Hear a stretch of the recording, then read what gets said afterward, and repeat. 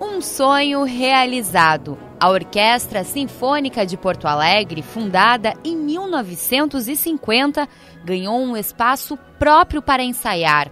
A primeira sala de ensaios da OSPA, localizada no Centro Administrativo Fernando Ferrari, foi entregue aos músicos e à comunidade nesta terça-feira pelo governador José Ivo Sartori.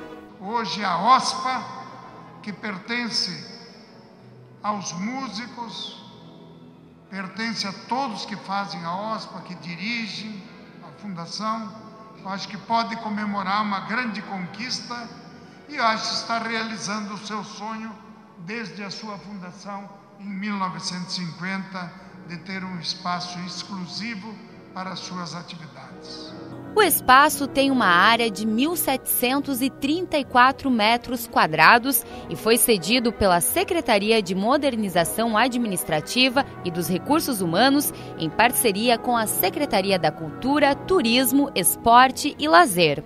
Se nós queremos avançar, entregar resultados para a população, é fazendo parcerias. Por isso que eu me sinto, como secretário da Cultura, muito estimulado por esse resultado que já entregamos e isso nos anima para que prossigamos a nossa caminhada, mesmo com dificuldade, mas querendo entregar resultados para a comunidade gaúcha.